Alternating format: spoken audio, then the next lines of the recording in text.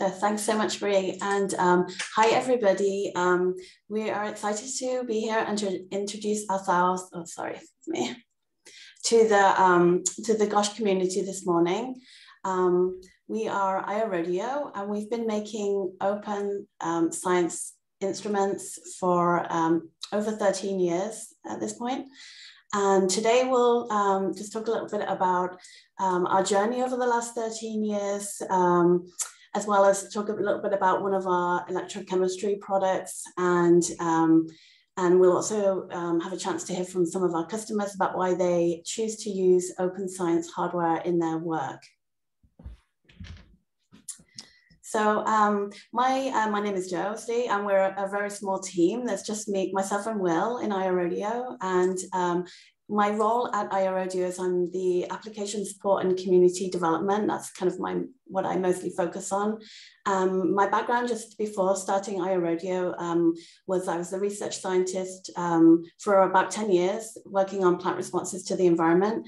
I also um, spent a couple of years um, doing educational technology at a local school in LA. And, um, and I'm just going to pass it over to Will now. Mm -hmm. Uh, hi, yeah, my name's Will, um, and, and my role at IO Rodeo is primarily hardware and software development, and I, I currently split my time 50-50 uh, between IO Rodeo and Caltech. Um, is there an audio problem? Oh, so I, I currently split my time 50-50 between IO Rodeo and Caltech, where I also work as an instrumentation engineer. Um, um, and bef before starting IO Rodeo, uh, uh, both Jo and I experienced some of the limitations of black box instruments firsthand when working in research labs. And we realized that there was um, a potential for um, open source uh, hardware and software in science and education. And so with this idea in mind, we founded IO Rodeo back in 2009. Um, so the, the, the mission, uh, our initial mission was basically to try to increase uh, accessibility to scientific data collection tools by creating sort of low cost open source hardware instrumentation. And here you can see a sort of a screenshot of our our website. Um, and, um, and this is found at iorodeo.com if you're interested in checking it out. And I wanted to talk a little bit about our journey uh, um, in running this company. Um, so we, we were founded in sort of late 2009. Um, and um, we initially started as a consulting company, just sort of developing custom instruments, open source hardware. And a big part of this was just sort of developing arenas for behavioral biology. So, and, and in doing this, we found that our customers were very receptive to the idea of sort of open source hardware, open source software they're mostly sort of researchers and academics, and they I think sharing and knowledge transfer was important to them. And um, and, and though even though we're consulting, we always sort of planned uh, to transition to having sort of product line of our own. Um, we we envisioned sort of making low cost, accessible instruments that were had sort of had uh, open source software and open source hardware. And sort of gradually over the years, we've tried to transition to this. Um, and we've had uh, various product lines over the years. Um, so one of our first products was a, a display system for sort of making insect uh, flight arenas for behavioral and neurobiology. Um, and this was very closely related to the sort of consulting work that we were doing at the time. It's kind of, and sometimes it's even hard to distinguish the two. And this was not something we originally developed. These, these flight arenas have a long history in studying uh, insect flight. Um, and the, the, generation of displays you see on the screen there were initially designed by my friend Michael Reiser at Caltech. And we also um, contributed several unique designs to the system, new arenas and panels, um, et cetera. Um, and these systems are basically a visual display for making like a video game for fruit flies. It's kind of a very specialized piece of instrumentation. Um, and they're used for studying um, how uh, flies use visual in in information to control flight. And so basically the, the, fruit fly is tethered to a pin. Basically there's a sensor which measures what their wings are doing in real time. This is used to steer the display and then they can fly around in a virtual world. And so they're basically, the flies are playing the video game and the scientists will record things like record from the neurons in their brain while they do this. So we sold this system for about seven years, uh, but basically stopped selling it when I rejoined Caltech, uh, splitting my time 50-50 between Radio and Caltech um, um, back in 2017. Um, and uh, this basically the, the, issue was that the core that I was helping to start at Caltech um, was supporting lots of labs at Caltech and around the country, which are using the system, and we wanted to avoid a conflict of interest. However, this system is still actively used around the world. It's open source hardware. Um, I now just support it from my position at Caltech rather than IO Rodeo. But I think this shows a big difference between um, proprietary and open source hardware. Um, I, um, and I should point out that a lot of other people support the system besides just us. Um, and I could say a lot more about this, but in interest of time, I want to move on to some of our other uh, uh, products. another line of products that we have is our open colorimeter. uh, and its accessories that go along with it. These sort of measure the absorbance of light through a sample. Has lots of applications for sort of water quality, measuring the concentrations of things like ammonia, nitrates, measuring turbidity. Can be used in education to, for, as a, for it's like an introduction to Beer's law. You can see sort of an exploded view of our colorimeter down in the, in the, in the bottom right hand corner. Um, this began as a Kickstarter project. Um, then, and this is back in 2012. I think in the early days of Kickstarter. I think Kickstarter was formed in 2009. Um, and we've been selling this for about 11 years now with a small break in 2021 to redesign the system. The original system was based around the Arduino Uno and the, the new system is, is, is designed around the PyBadge, which is a really nice uh, development board by uh, Adafruit. Um, and we did this to incorporate some new technologies. The firmware is now in CircuitPython and we made it standalone. We added battery power, we added a display. Um, a third line of products that we used to have, we don't sell anymore, was our gel, gel electrophoresis equipment. This sort of includes gel boxes, transilluminators, a gel electrophoresis power supply, imaging enclosures. We sold these for about eight years, and, and I thought we had we had some very cool products in this lineup.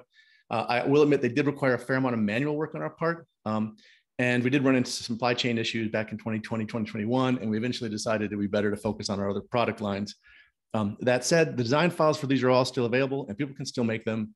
And again, I think this shows an advantage to open source hardware. Um, sort of a, uh, a fourth line of products that we have are our line of potentiostats and the accessories that go with them. And these have lots of applications from developing biosensors to sort of studying coatings and corrosion and electrochemical processes. And our interest in these really began uh, um, from a request from a high school teacher in LA who wanted to um, use the CheapStat potentiostat, which is an open source potentiostat developed by the Plaxco group at UCSB. Uh, he wanted to use these in a summer project studying water quality in the LA River. And um, after this, we, we sort of became interested in potentiostats and designed some of our own. Uh, we designed the Rodeostat and the multi, multi-channel Rodeostat Plus, uh, the Rodeostat Featherwing, and we added things like programmable voltage and current ranges and, and uh, um, things like that. And, and so I think as a more detailed example of the types of open source products we sell, I wanted to look a little more closely at our potentiostat products. Um, and sort of shown here um, on this slide, you'll see of two of our open source potentiostats, the Rodeostat Featherwing and the Rodeostat. So the, the Featherwing itself is a sort of small, uh, low cost, like, like $20 potentiostat, right? It's not standalone. You need an accompanying microcontroller to go with it. And it's really meant for adding a potentiostat to an embedded project. Um, and then in, in, the center, you can see our Rodeostat potentiostat. This is um, sold as sort of a complete instrument. It comes pre-programmed with firmware, which includes various voltammetric tests, chronoamperometry, cyclic voltammetry. It comes with a Python library for controlling it from the host PC. There's web app software for controlling it without any programming. So you might ask, what is a potentiostat? So it's basically an electrochemical sensor with three electrodes working counter and reference.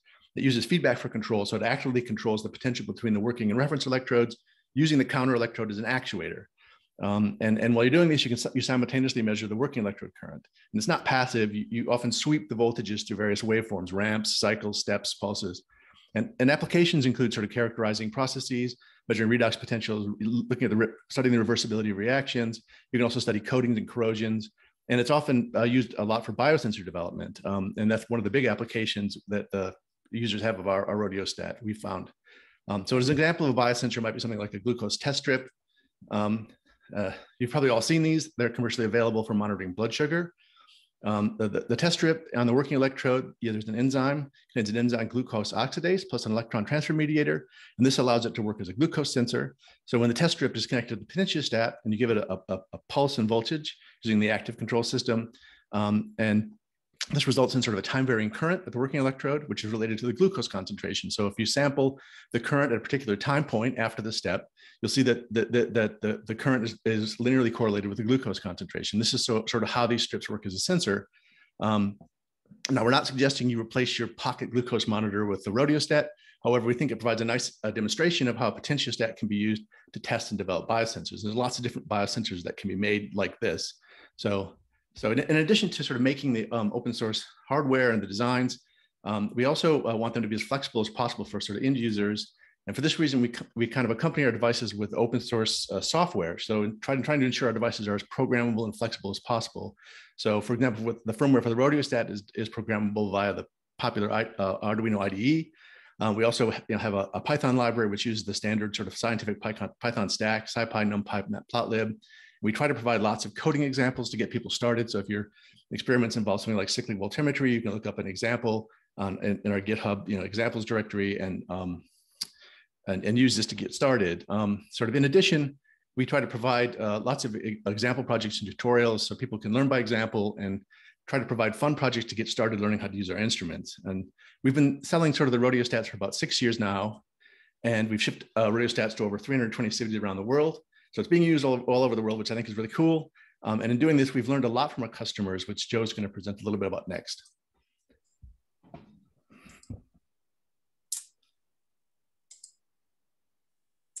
Yeah, so um, thank you, Will. So in this section, um, we're going to talk a little bit about how and why our community is um, using open source hardware science instruments. Because um, I think as, as all of us here are instrument makers, um, we spend a lot of time designing and writing software and documentation. But in the end, you know, we want to see people using, modifying, and sharing our designs. Um, so these images show some of our hardware being used in labs and classrooms. Um, so in order to try and understand, like we want to try and understand um, how and why people choose to use open hardware um, and what they are using it for and what are the benefits. And the reason we want to, you know, understand this, um, I'm sure as you, as everybody here understands, it helps us to be able to better design, design the right tools and resources that people want, um, identify any barriers that might come up that you, you know, wouldn't have thought about, and, and also so just so that we can be better advocates for open hardware. Um, at the end of last year, we conducted a short 10 question survey of our customers. And one of the questions we asked was how they used open hardware in their projects and work. Um, you can see some of the responses on the slide, um, some sample responses. And um, we broke them down into like um, these rough categories um, where you can see like 25% of our customers and people in our community are using it in education and 75% are using it for research and development. And we can further break down research and development into the categories like biosensor research and development. That's one that's a big category for us. Um, biochemistry, molecular biology, environmental research, hardware development, biotechnology and biomedical research, and electrochemistry research. And obviously this is a reflection uh, of the tools that we, that we sell as well. And so to, to get further insight, we, um, we decided to like get further information from like somebody who responded, who uses it for education and someone from research. And we asked, asked them to share with us how they are using open source science hardware in more detail. So this slide shows graduate student um, Joshua Kudoto, who's at the Leddy Research Group at the University of Iowa. And Josh and his colleague Andy are using the RodeoStat um, in, in teaching undergraduate electrochemistry classes. Um, and what's kind of exciting is that they recently were awarded a grant to expand, expand the project to more labs um, this summer. So this image, you can see Josh setting up an electrochemical cell using the uh, multi-channel RodeoStat. So we asked Josh to share with us how he's using open hardware for education. And this is what Josh shared with us. We chose the RodeoStat for our classroom because it offers flexibility and robustness. Being open source hardware, instructors can better tailor experiments to match the learning outcomes of an experiment or course. In operating the instruments, students can execute provided scripts or build the operating code from the ground up. This makes the instrument suitable for both introductory and advanced courses, ranging from the basics of voltammetry to creating custom waveforms.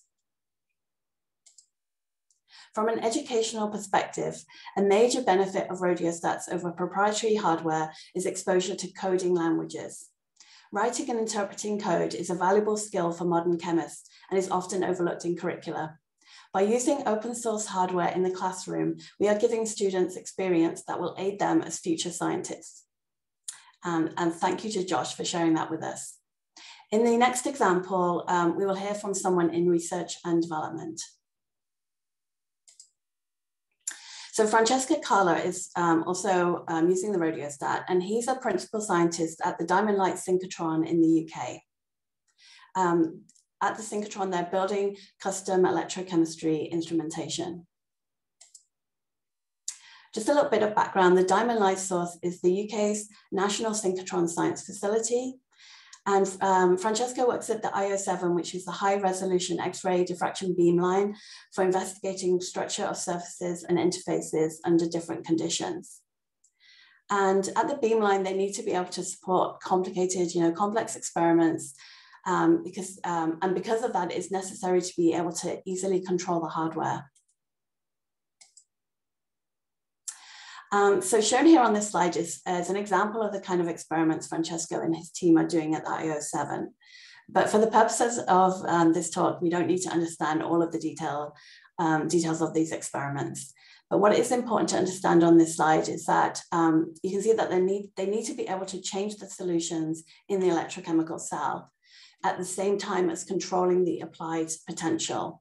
So if you look at box two, um, you can see on the x-axis is time, and um, with time, they're cycling through different solutions in the electrochemical cell, while at the same time on the y-axis, you can see that they're changing the, the potential of the electrochemical cell. So on the next slide, you can see what this actually looks like in the lab. Um, so this picture shows the Rodeostat integrated into the EC ALD system. And the Rodeostat is on the left-hand side. Um, the electrochemical cell is in the center, it has the tubing coming out on either side, and that um, has the working counter and reference electrodes. And the, um, the tubing is connected to the solution distribution system. So like Josh, we asked Francesco to share with us um, the importance of using open hardware um, in his work. So we decided to use a Rodeostat for this application because com commercial systems don't have enough flexibility. We wanted to be able to directly control the instrument using scripts, which is something commercial instruments and software do not allow to do. For us, it was also important to control from the same Linux machine multiple hardware components and have the possibility of creating scripts to coordinate the actions of the different components, e.g. apply a potential, change the solution in the cell, and in the future, controlling illumination in photo-electrochemical experiments. And um, we're grateful to Francesco for sharing that with us. Um, finally, another way we can learn about how our customers are using open source hardware is to look in the literature. So we search papers, um, we search in the literature for papers that use the Rodeostat and we look for mentions of like why they chose to use open source hardware. Um, so the, on the first on this first slide, we show some selected quotes from papers where they mention accessibility as being important to them. So they said that open hardware dramatically increases accessibility, lowers the cost, and provides access to tools in low resource and resource limited labs. Um, in the Kandahari paper, which is like the third quote down, um, they were talking about how in traditional labs they have like one potentiostat which everybody has to you know these are expensive pieces of equipment they're thousands of dollars um, typically. And so they have one instrument and all of the students are like typically having to watch a, de a demonstration. And so they don't get any hands-on experience. But with open source hardware you can like have each student pair could have their own um, can have their own instrument and then they can run their own experiments and get that hands-on hands-on experience that that we need.